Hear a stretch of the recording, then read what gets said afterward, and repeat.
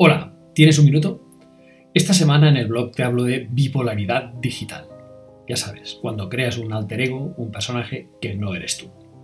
Advierto que lo que hablo está muy lejos de la enfermedad del trastorno bipolar, no va por ahí. Simplemente hablo de esas personas cuyo comportamiento en los entornos digitales es muy diferente al de los entornos presenciales. En realidad no es una enfermedad, yo la llamaría anomalía, y observo que cada vez hay más.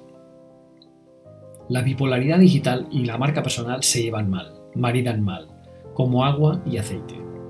Marca personal no es abultar o reducir lo que somos en las redes sociales, es apostar por la coherencia off y online.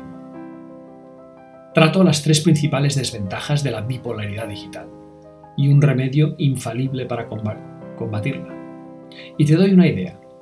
Libérate de lo que los demás esperan de ti.